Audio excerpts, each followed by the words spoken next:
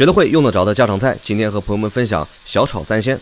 上回斤，瘦一斤，口蘑呢？口蘑也瘦。芦笋和口蘑都是十五块钱一斤，一样来个半斤就够了。口蘑上称之前去掉根，两个价格是一样的，一起花费十三块钱。老板今天呢不是很忙，又帮我把芦笋的老皮去掉了。也不新鲜的，给我了啊！刚才又买了点河虾，这种是最大规格的河虾，九块钱一两，这么多就二十块钱。剪掉虾足和虾腔，再把虾包挤出来。这种虾都是野生的，对水质的要求比较高，它比养殖的大虾更鲜，吃起来更健康一些。这种蘑菇的学名叫做双孢菇，因为和蒙古野生的口蘑长得比较像，所以现在大家也都叫它口蘑。把口蘑切成厚片，芦笋是去过皮的，如果买的那种很嫩就可以不去，斜刀给它切成小段。锅中水烧开，加上盐入底味，加上食用油，让焯过笋的芦笋颜色更绿。芦笋下锅焯烫三十秒，捞出。另起锅加上猪油，下入生姜炸香，再加入河虾，开大火翻炒。把河虾炒红，加上黄酒和生抽，继续炒匀。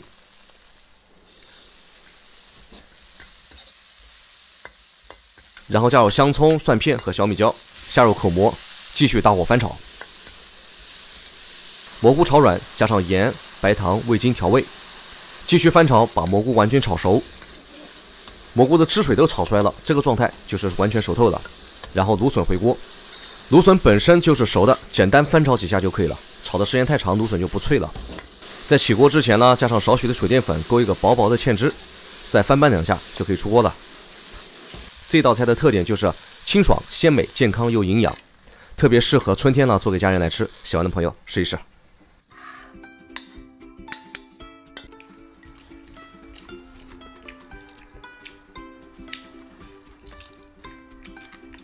今天我也饿了。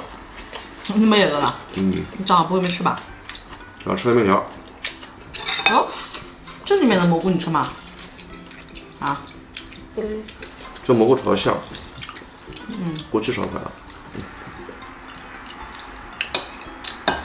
怎么有酒呀？刚才放酒烧的。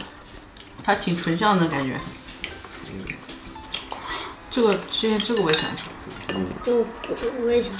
好像，这个我也喜欢吃。嗯，好，管我吃那么多。那我带你吃奶奶。够，吃得多吃得多。哇，这个菜吃的好像，这春天的味道。哎。